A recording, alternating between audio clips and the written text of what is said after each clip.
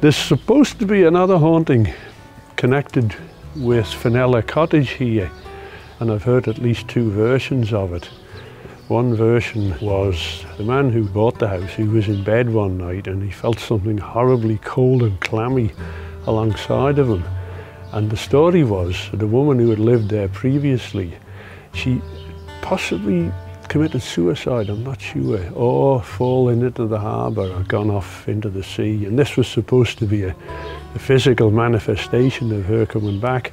But another version I heard, and I think this was actually from the man himself, it's the same man who was haunted by Palmer the Poisoner over in Seaforth House, was that it was actually, it sounds crazy, there's a sort of a dream logic in it. It was actually a, a, a man in RAF uniform who'd lived here previously and died. And there was also a portrait of him, and that's how we identified who it was. But while I was telling this story to a group of people uh, a few years ago, a lady living in the house came out, and she told us a third version, which I've forgotten.